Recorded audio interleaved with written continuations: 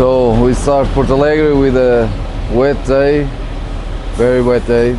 We have no windscreen, so it's wet, wet, wet. So we start the prologue with the, um, with a with a mess, with a problem with the with the door.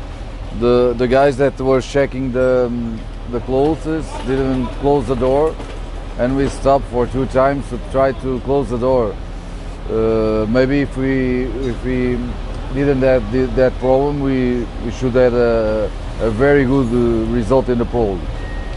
The second stage, we we came out with no no connections it, with each other, so we were very careful because we have a lot of kilometers to do tomorrow. So, but overall, it's it's it's okay. And what about your main concurrent, Saleh? I heard that he had a problem with a wheel or something. I don't know. The, at this at this time, I don't know what what happened. So I'm I'm uh, waiting to see.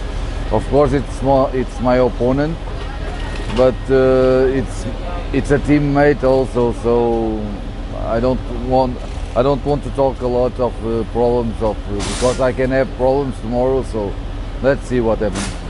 What uh, did you feel when you knew that your door opened? You was shocked? Yeah, I was shocked and I was uh, mad with uh, those guys because they were doing a bad job. We talked with the with the FIA because they had a lot of time before the beginning to check if all the pilots and I agree if they have the the security stuff, the extinguisher, everything, but they did it uh, before the the start and uh, they didn't close the door. So I was I was a little bit upset about that, but But okay. you like stop? Uh, Yeah, we, we, we needed to stop. I stopped two times to to try that the door comes to the front for my brother to, to try to close it. So at the second time we we managed to do it. And your result is the, and you show the first result with the problem. Yeah, yeah, we lost some seconds in, on that. Yeah, for sure. And uh, how many times you participated in Baja Portalegre?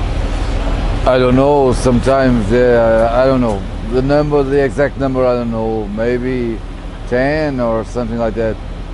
And what can you tell about the track in Portalegre? It's uh, like a rally style or It has it has a mix of everything. It has a mix of tri- trial and uh, rally.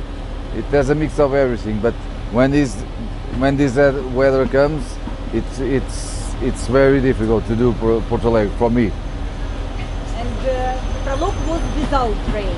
And the second Yeah. stage Yeah, the the prologue is it was okay. The second stage there was some wet, but uh, not like like uh, last year in Portalegre. But um, tomorrow is expected to, to rain a lot. So let's see what happens tomorrow. And what's your strategy for tomorrow?